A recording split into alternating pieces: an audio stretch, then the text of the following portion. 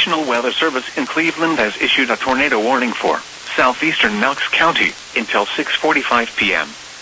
At 6:11 p.m., a severe thunderstorm capable of producing a tornado was located near Mount Vernon, moving southeast at 25 miles an hour. Hazard: tornado and quarter-size hail. Source: radar indicated rotation.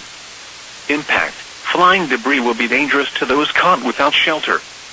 Mobile homes will be damaged or destroyed. Damage to roofs, windows, and vehicles will occur. Tree damage is likely.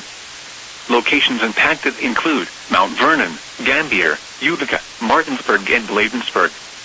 Take cover now.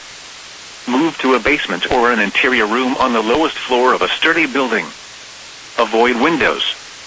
If you are outdoors, in a mobile home, or in a vehicle, move to the closest substantial shelter and protect yourself from flying debris.